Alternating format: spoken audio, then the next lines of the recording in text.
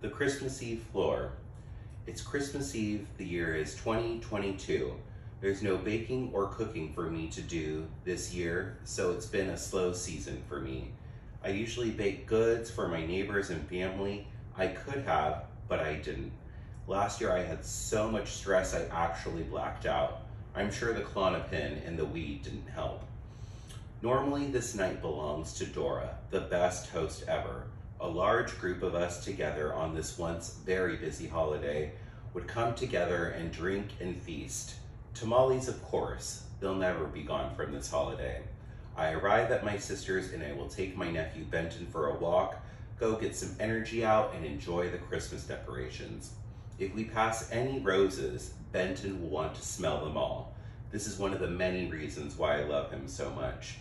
I wish I could explain to him what this holiday once meant to the family.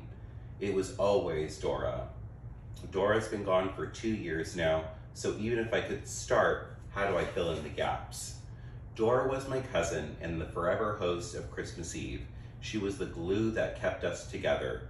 Now that she's gone, it feels like being in darkness. This year, I made my own holiday party to remember all the good parts that Dora would bring to the holiday.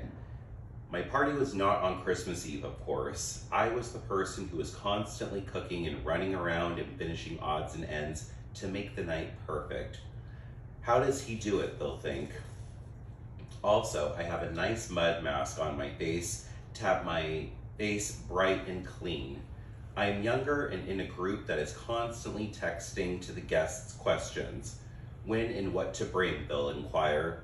The party's at 6, you don't need to bring anything. Yes, please, don't bring anything. Yes, it's at 6. No, please don't come early. I'll be cooking. No, I don't need help with the cooking. I started at 4 a.m. I do a long prep for food. That is what makes the difference of stress cooking and baking only to be fit into a few hell-like hours. The vegetables are being marinated and the cookie dough is made. Yet now to the holiday. It gets dark very early, and Benton and I are starting to see Christmas lights as the sun fades out. I'll playfully throw him in the air, and when I have him back in my arms, he says, Uncle Andrew, do it again. Do it again. Do it again. We head back to my sister's and take our spots at the table, sitting with my family at a table that is full of candlelight and love for each other. My younger nephew, Bodie, missed a nap, and now he wants it. My sister had my back and I got a pass on not attending church. She says, okay, you guys are going to church and Andrew's staying with me. He'll help me with Bodie. I spent the few hours bonding with my sister and I learned how to communicate with her and how to manage the new things in life we go through. And it was a miracle, a Christmas miracle, and it was lovely. My sister is still rotating Christmas films to fill the silence. I sit at the bar and will be there if she needs to talk or needs help. This being alone in the kitchen is something we both share. As time passes us by and our party days are in the past, facing real life and fighting about it in our heads. Yet at times a simple book or a song will return the hope back to us or to make us not feel so alone when we're faced with very big issues. I was just about to say something that I have been struggling with. Then at that moment, our church attending family comes on in. Then in a few short moments, we change the dinner table to a dessert table, which means change the placemats, serve the pie with a side of ice cream, and special candles that are meant just for dessert. We both have been striving to be the best hosts ever. We all have dessert and then I leave my love that is my family and the love I have for Long Beach. My evening is already over, a strong high I have from keeping a Klonopin under my tongue. I'm also drinking strong coffee to keep me awake to enjoy the warm tingle that is the Klonopin buzz. I do have one more thing to do. I'm watching my friend's dog. I will load my dog up in the car so they can play together. I go to my friend's empty house in the clean LED light in my friend's place, I feel so impure or feel I have brought a gray cloud with me. It's now 7.23 p.m. Even though Dora is gone, the family still celebrates. and will do all the special things. With my moods that can swallow me whole, I decided not to go and maybe burn a few bridges along the way. In the kitchen, I stand right in the center, white. I feel pulled by an energy. I am in a place where I feel I thrive, here in a kitchen. Food being so important to both cultures that dwell in me. Hungarian butter-filled cookies and how to feed a large family with the soup that has one fish and an obscene amount of cabbage. A Mexican meatball has been something I still have not made with success. I have my Grandma Cortez's recipe for carrot cake and I can eat the whole thing day in, day out. It's paradise on a fork.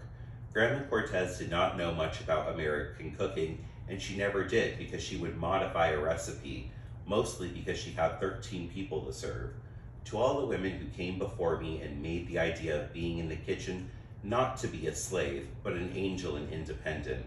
When I am creating in the kitchen, I have to pipe music into my ears. When I'm alone, I fill the house with warmth and music that will keep my energy up. In this year of growing, I have tripled the amount of recipes I know by heart.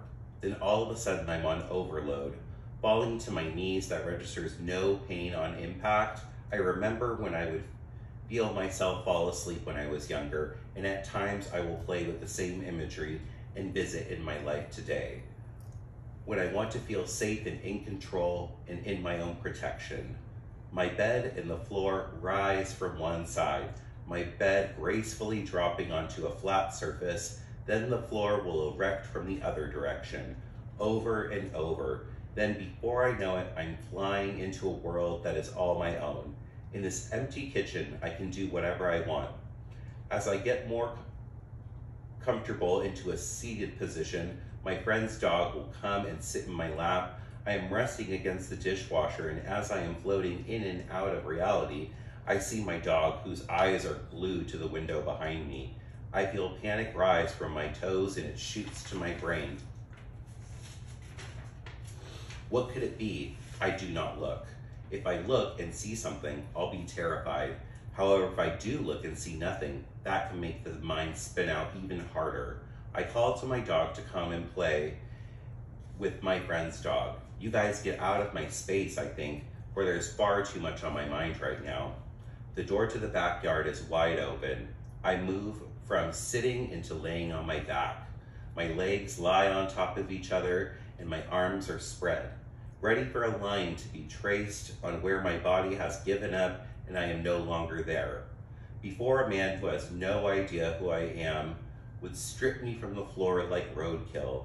If I were to die now, die in this kitchen, my eyes just wish to see peace. I look to my right and see a child lock for a cabinet just slightly over my head. My friend has an angel of a daughter, but love is not registering in my brain right now. I stare and think.